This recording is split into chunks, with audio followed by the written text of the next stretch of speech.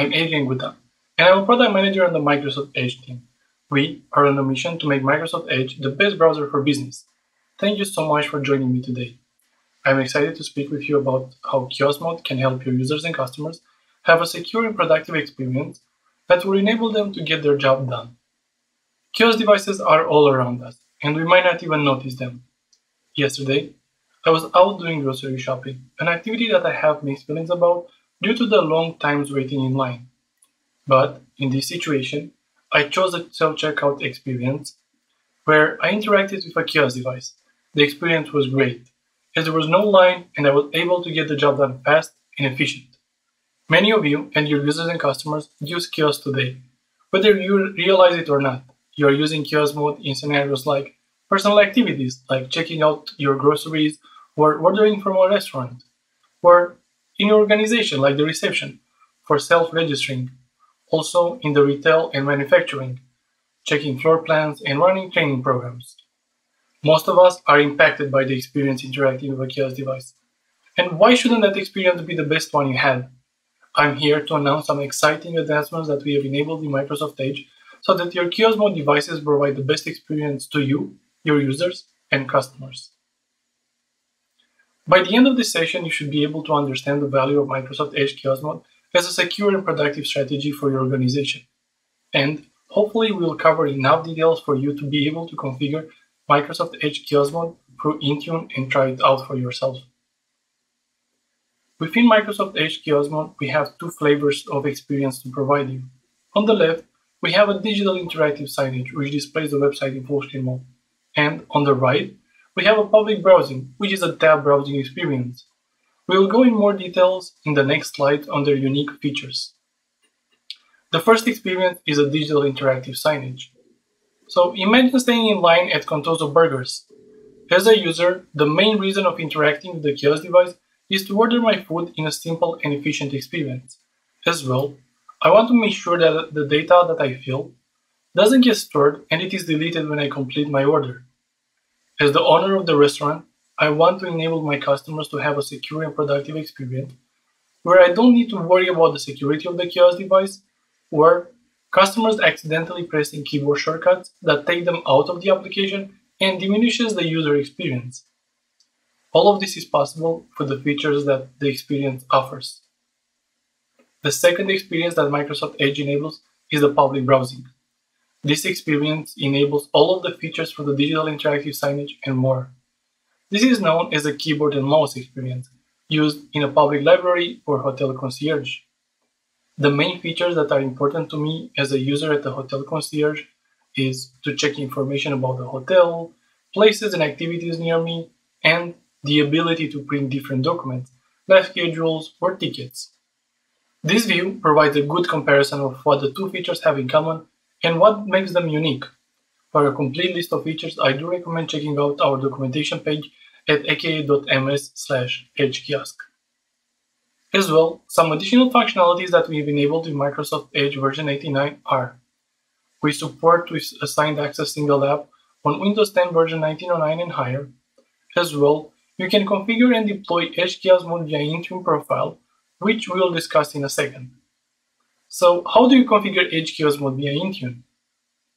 This is going to be through the Intune portal and it is similar to the Microsoft Edge Legacy Kiosk mode configuration. It is very similar to setting the MDM policies or templates, where you choose which settings you want to apply for the device and the groups and users the settings should apply to. Then, as a user or customer, the next time I use the device, they will enjoy the Microsoft Edge Kiosk mode experience with the pre-configured customizations that you created. Now let us jump into demos and have some fun with this. I'm going to start with an already configured public browsing experience that runs in assigned access single app. So let us take a look at our example, the Alpine Ski Hub. This is a hotel concierge example, which provides information like front desk amenities concierge. In this experience, it is important to me that I know that my browser data doesn't get stored, and I know that is true because it runs an in private session. The public browsing experience also offers access to the address bar, back and forward button, and most important, you can access multiple tabs. For example, I can open the concierge information in a different tab. When I am finished, I can go ahead and press the end session button, which prompts the following message. This indicates that the browsing data like history, cookies, downloads will be deleted.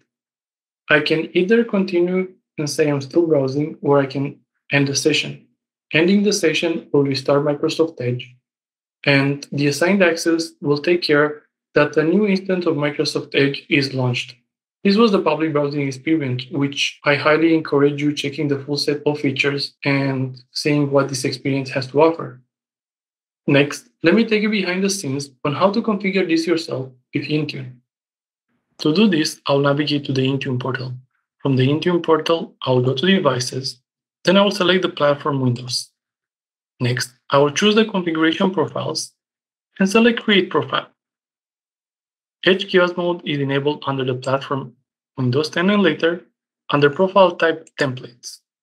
Here, I can either scroll and search for kiosk or I can do a quick search. I'll go ahead and select template name kiosk and select create. This will take me to the basic configuration screen where I need to give the kiosk a name. So I'll go ahead and name it kiosk ignite. I can add as well additional information in the description field. At this stage, I'll just leave this as such and I will just go and click next. In order to reach the same experience that we previously had, I will go ahead and select the kiosk mode single app full screen kiosk. The next option, user logon type. I want my devices to automatically log on, so I'll go ahead and choose the auto log on Windows 10. The next option, application type. Kiosk mode has been enabled under the Microsoft Edge browser, so I'll go ahead and select the option Add Microsoft Edge browser. Next option is the Edge kiosk URL. Here is where you set the URL that you want the home pages in the experiences to start with. In our experience, we had the Alpine Ski House. So I'll go ahead and set this.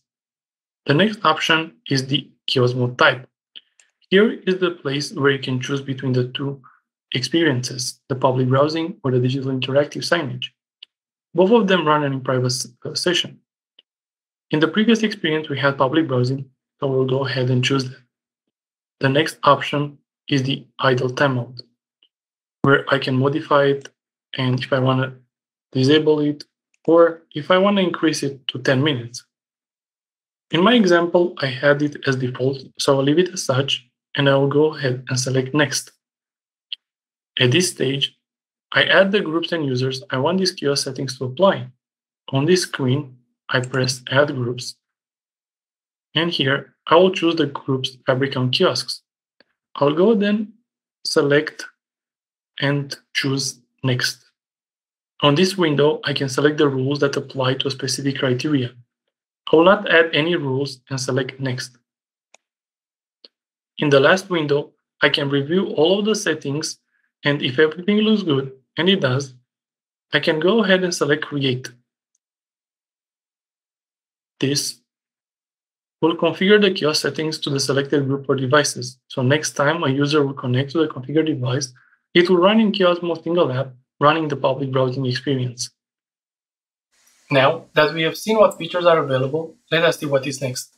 With the upcoming Edge releases, we are targeting and enabling additional features like locking down the UI print settings, we're restricting the launch of other applications from the browser, and as well as additional features for parity with Microsoft Edge Legacy. You can follow us by using the M365 roadmap for Edge or our Edge kiosk documentation in order to stay up to date. In case you haven't heard, changes are coming to Microsoft Edge Legacy. In February, we released a blog with additional details about the end of support for Microsoft Edge Legacy. In order to support your transition plan, we have documentation available for you at aka.ms slash edge transition. There was a lot of information covered. Before we wrap up, I want to leave you these resources about kiosk mode. We appreciate your time in listening about why we believe Kiosk mode is the solution for your organization. Thank you.